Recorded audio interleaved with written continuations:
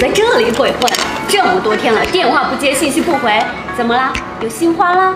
我有新欢了，你不跟我在一起，还不能让我谈恋爱了？我看你就是不喜欢我了。果然，男人没有一个好东西。当初幸亏没有跟你在一起。那您说说，依您之见，怎么样才算个好东西呢？你欺骗我的感情，追一半不追了，你什么意思啊你？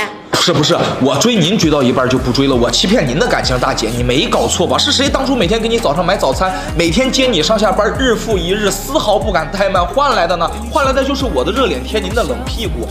那你可以再坚持一下，说不定你马上就可以追到我了。坚持一下，你以为下载软件呢？你倒是给我个进度条啊！我刮奖刮出了个谢字，我还得硬着头皮刮出谢谢惠顾才满意。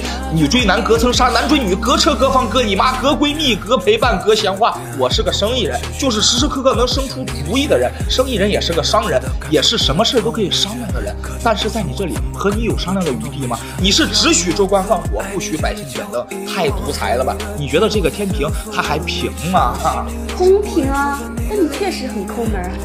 我抠门？你以为我能和你这个大小姐比啊？还有，您把这个抠门和节俭两个词分清楚。你知道我是怎么买的车买的房吗？不都是我平时省吃俭用、开源节流省下来的吗？就大小姐，你说我是节俭呢，还是抠门呢？